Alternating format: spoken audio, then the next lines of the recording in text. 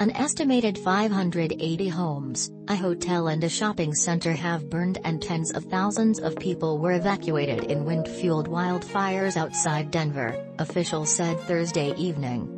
Boulder County Sheriff Joe Pelle said one injury has been reported and he didn't rule out the possibility of more injuries or deaths to come given the intensity of fires that quickly swept across the region as winds gusted up to 105 miles per hour. The first fire erupted just before 10.30 am and was attacked pretty quickly and laid down later in the day and is currently being monitored, with no structures lost, Pelle said. A second wildfire, reported just after 11 am, ballooned and spread rapidly east, Pelle said. The blaze spans 2.5 square miles and has engulfed parts of the area in smoky, orangish skies and sent residents scrambling to get to safety.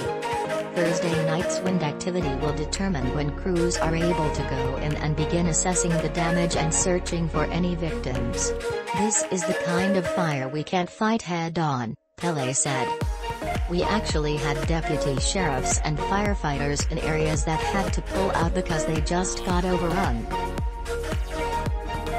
The city of Louisville, which has a population of about 21,000, was ordered to evacuate after all 13,000 residents in Superior were told to leave. The neighboring towns are roughly 20 miles northwest of Denver. Several blazes started in the area Thursday, at least some sparked by down power lines.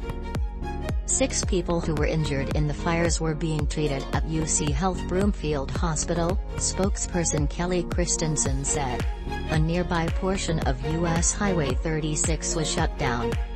Colorado's Front Range, where most of the state's population lives, had an extremely dry and mild fall, and winter so far has continued to be mostly dry.